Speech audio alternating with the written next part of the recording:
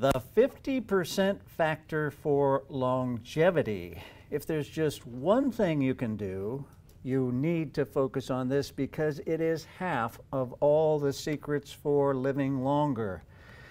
Here's a study that looked at the risk factors for death, and they looked to see what was the biggest thing you should focus on, and what do you think it was? It was your diet, 50%. Now, that is more important than not smoking, more important than blood sugar, cholesterol, blood pressure, and everything else. So, we're going to spend uh, the next few in this series focusing on diet and longevity. And I want to start by looking back at the Blue Zone study that kind of started all of this quite a while back. They did a follow up study where they looked at the dietary surveys of 150 people that lived a really long time. And here's what they came up with as being the most important things. Starting at the top, retreat from meat, as in eat less meat. Now, that's what we teach you on the seven systems plan. Reduce dairy was the next thing. Slash sugar, you know about that. And they said to eliminate eggs or not eat more than three a week. Now, I will tell you there's a difference between free range eggs and regular eggs. So there's a little bit of a debate on that. Go easy on fish, but three times a week. That's not really too hard to do. Snack on nuts. And you guys all should be doing that. A small handful of nuts every day. Drink mostly water. Get away from the sugary stuff, but also coffee, tea, and red wine in moderation. A daily dose of beans. Now, that's a little tougher one, but beans are very helpful and then go wholly whole, which means eat real food fruits, vegetables, fermented foods, and try to eat them uh, with as little processing as possible. And what was the very biggest factor at the bottom of the pyramid? It was eat plants. Lots of plants, plants, plant, plants. All the vegetables you guys should be loading up on. Here's a study where they looked at plant based diets for healthy aging, and they found that plant based diets explained half the difference in lifespan. The 50% factor is eating plants.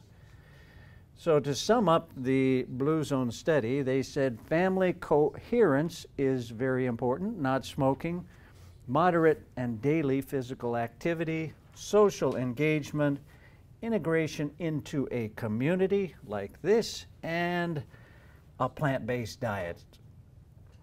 So, to review, what you eat trumps everything. There is nothing more important than what you eat. Let's look at some specific items that uh, may be in your diet and see how much of a risk factor or health benefit they are so just changing your diet, nothing with stress control, nothing with sleep, nothing with any of the other things that we teach on the seven systems plan, but changing your diet at age 20 will add 13 years to your life. Now remember, there's other things you can add to boost that even more, but look at this next line. At age 60, changing your diet adds 10 years to your life. That's not much difference at age 20, which means if you're middle age, making some healthy changes can have a tremendous benefit. Now, by age 80, it's only gaining you three years, but again, there's other things you can be doing. And specific things what was the single biggest food item that increased years in your life? Legumes, the beans, hummus, peas, two and a half years more. Whole grains, 2.3, nuts, two years less red meat, which is what I want you to do, plus 1.9, and less processed meat. We need to get away from all the processed meat, another plus 1.9. Now, on the Seven Systems Plan, we make it simple for you. We give you the food groups that you should eat from and the amounts you should eat to make it real easy for you to incorporate. One last thing I'm going to throw out here this was a very, very interesting study where they looked at all of the nutrients that, that you could consume. And all of them boosted longevity, 146 different nutrients.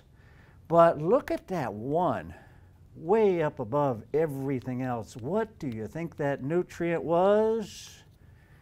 I know what you're thinking, but I'm going to tell you this is a one time where the answer is not vitamin D.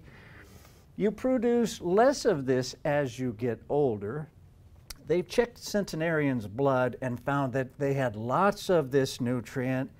And in animal studies, this one nutrient extends the life of mice by 25%. Stay with me in this series and we'll show you what that is.